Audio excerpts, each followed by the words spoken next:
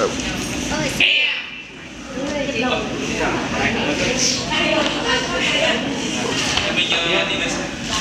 hôm sau em sẽ chọn ra đây trên mình hôm nay cũng đông không? Đâu cũng người nào? Đây